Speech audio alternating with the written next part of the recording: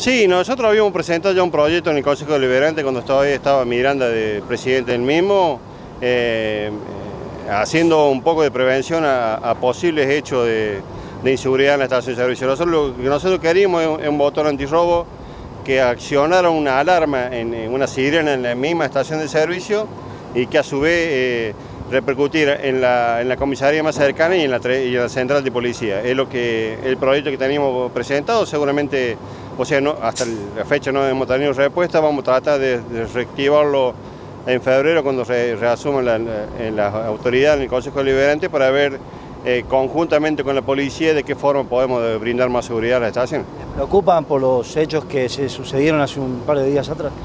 Preocupa seriamente por el hecho de que esta gente ya vino armado, vino armado con cuchillo, tenía cierto, cierta violencia. En esta estación de servicio no lograron el cometido porque eh, el compañero por ahí se, interpuso. En las otras estaciones de servicio eh, lograron sustraer la billetera. Lo que nosotros les recomendamos siempre a los trabajadores es que, que tengan poca, eh, poco dinero en efectivo en, las carteras y que realmente entreguen y que no, no arriesguen su físico. Sé que en el momento, a mí me ocurrió hace varios años atrás, yo reaccioné medio violentamente también, pero bueno, eh, una cosa es decir y otra cosa es el momento. Una cosa es lo, teórico, otro lo práctico del momento.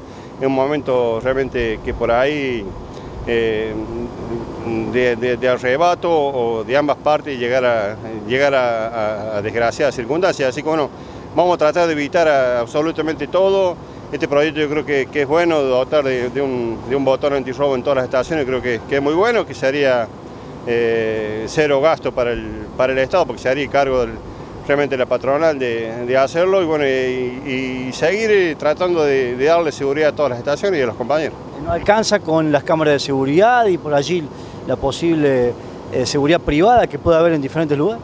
No, porque son muy contadas las estaciones que, poseen seguridad. Eh, el costo de la seguridad se ha ido realmente muy, muy, muy alto. Hay muchas de las que algunas que tenían seguridad eh, han dejado de tenerla y otras están, están dudando para ver si, para ver si siguen teniéndola o no.